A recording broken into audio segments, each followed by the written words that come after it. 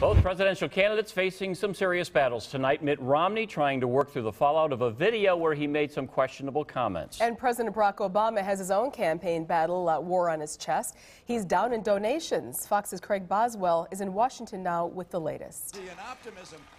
The campaigns are on the move, and with 49 days until the election, the focus today is on cash. Mitt Romney, who has outraised the president's campaign in recent months, is raising money in Utah and Texas.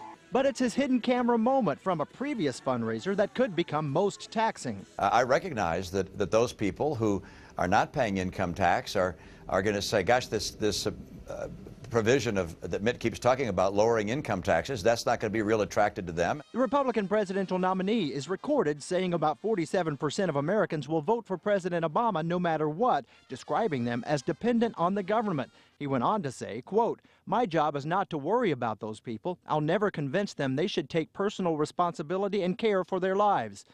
Just before President Obama headed to New York for his evening fundraisers, the White House didn't say whether the president had seen the Romney video.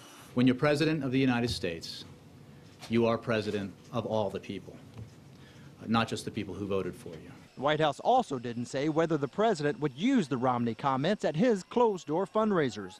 After a campaign event in Iowa, Vice President Joe Biden briefly commented. He talked about 40 years speak for themselves.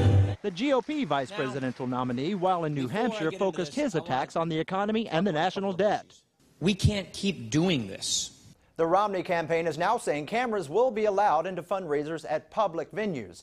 It's likely another topic that will come up when the two candidates debate for the first time in two weeks. In Washington, Craig Boswell, Fox News.